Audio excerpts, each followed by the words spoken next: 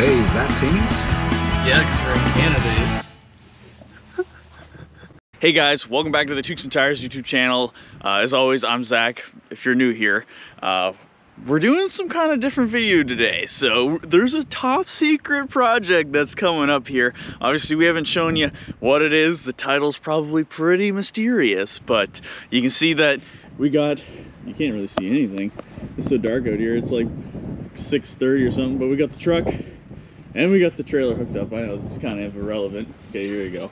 So you can see we got the truck and you can see there's a trailer there, but uh, we're gonna, we have a three hour and 15 minute drive ahead of us. So uh, we're gonna get on the road and start heading that way, but we'll meet you guys there and uh, you might see what we're picking up.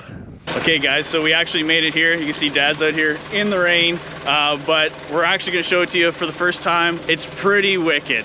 So this is what we're picking up right here. It's a 1968 Chevelle stock car, circle track or oval track dirt car. It's pretty wicked. Uh, you know, you can see it's got a three speed in it, custom front suspension, four nine inch. It's pretty wicked looking. It's got some damage here in the back that looks pretty sweet. Maybe me and dad will use the tractor, pull it out.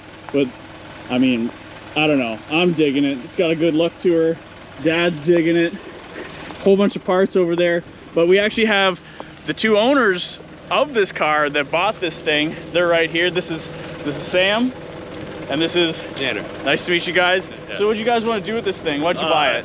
We bought it to put an engine in it and go do donuts out in the trails in the back. I mean, that sounds. I mean, that, that sounds Yeah. pretty wicked to me. Yeah. That sounds like a great time. Hopefully, we can do something a little bit similar with it. But I think we're gonna try to get it loaded up right now, get it home, and then uh, we'll look at this thing a little closer. Maybe when it's not raining. So, here we go.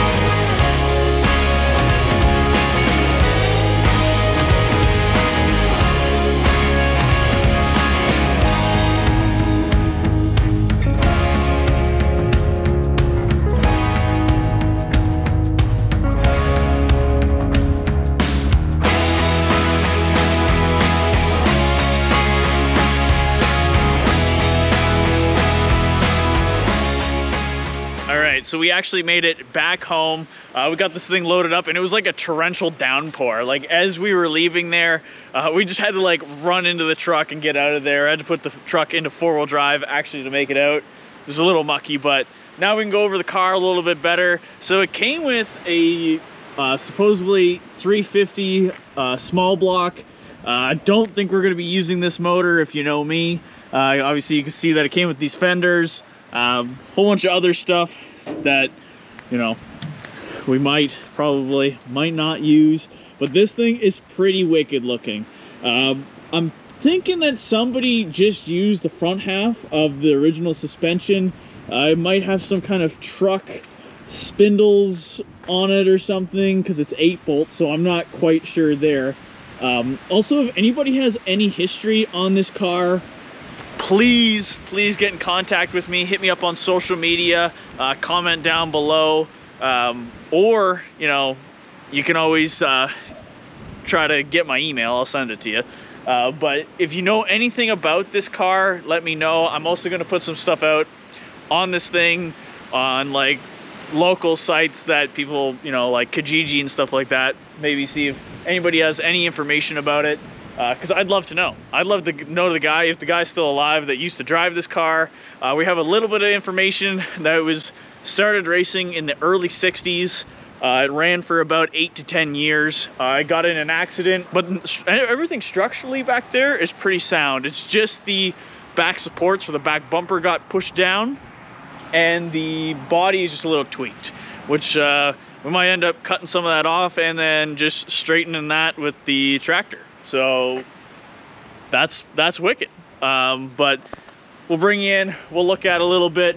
Uh, I'll probably end up making it so it fits two people because, you know, this one seater, that's cool and all, but you know, it is what it is. Look, it even came with a key. that's awesome. I love this switch panel too. I really hope these gauges work because I'm going to try to make as much as that stuff work as possible.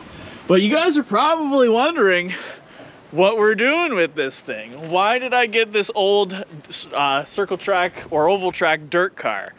So the plan is, is, is I want to make it street legal. Uh, don't know how hard that's going to be. Obviously, we're going to go through everything on it, make all the lights work, uh, e-brake, all that stuff, but all in good time. Uh, we're just going to try to dig into this thing. Might try to throw a motor into it so that we can get it running. Um, you know, just do all the basics, and then we're actually going to take it in and get a safety done on it. Hopefully. I'm really hoping that we can make this thing legit enough that we could drive it because that's what it deserves. This thing's wicked. The patina on it is awesome. It sat for 40 years on a stock car trailer sitting just like this. So the thing underneath is like pretty well perfect.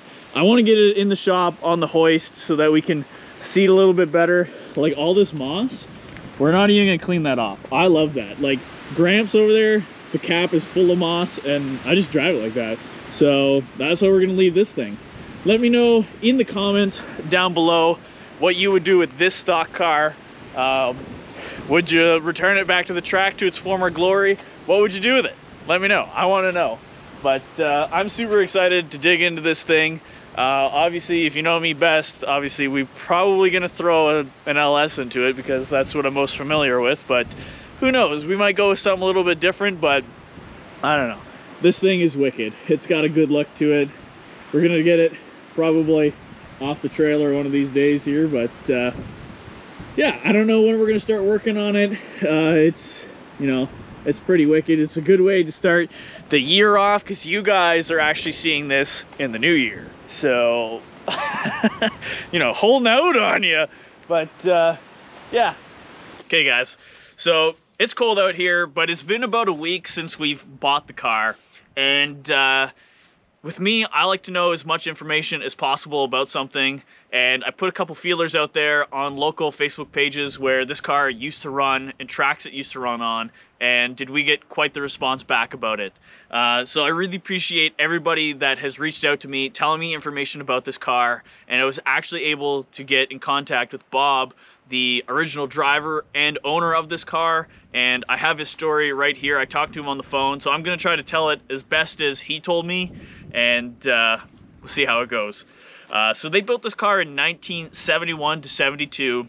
Uh, Delmer Bredman was the sponsor of the car. Don Little, Jim Davis also helped on the car, and so did Bob Prudhomme. Uh, Delmer had this car on his used car lot, and the guys were sitting in his office having a few drinks, and they were bugging Delmer and they were like, you know, that would make a pretty beautiful stock car. And then next thing they know it, they were dragging this car down the road and they were building into a car. This wasn't Bob's first race car though. He had a Chevy 2 before this and a couple others which I'll put on the screen. At the time when Bob was building the Chevelle, everybody else was using household threaded piping for their roll cages, and in Bob's words, he thought that that was shit.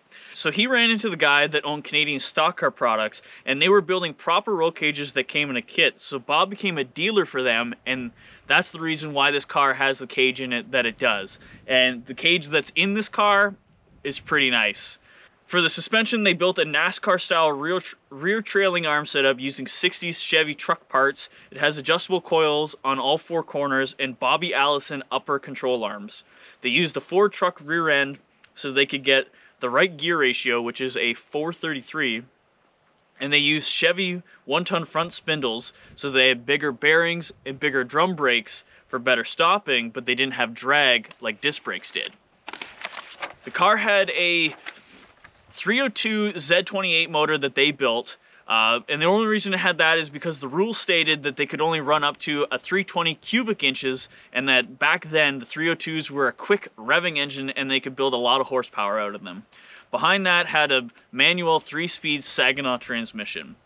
Bob raced this car for about three to four years, and from my research and from what other people have told me, Bob is one hell of a driver, and he could drive this car around the track like it was nothing, basically like he was on glass.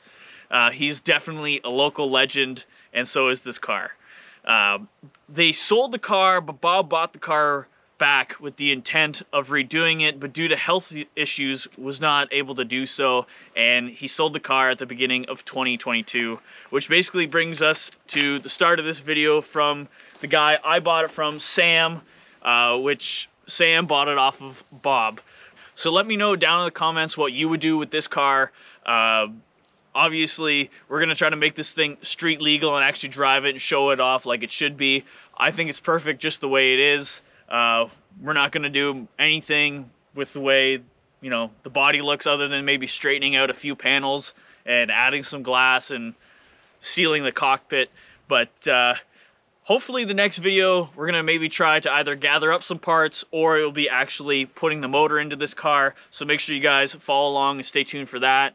Uh, i'm really excited to get onto this you know this project.